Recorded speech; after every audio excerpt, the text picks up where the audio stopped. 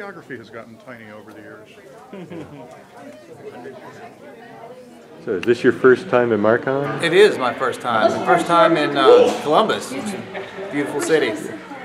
So I don't suppose you have any favorite memories of past Marcons, but of this one, which is like barely started. Any moments stand out so far?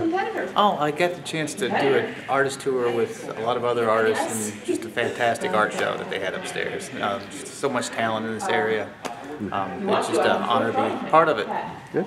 And you know, next year is our 50th Marcon. Yeah, that's great. Congratulations. Uh, long tradition of just some uh, excellent art and uh, a very tight knit group of people that run Marcon. I've just been uh, really impressed with the, uh, the teamwork and the unity.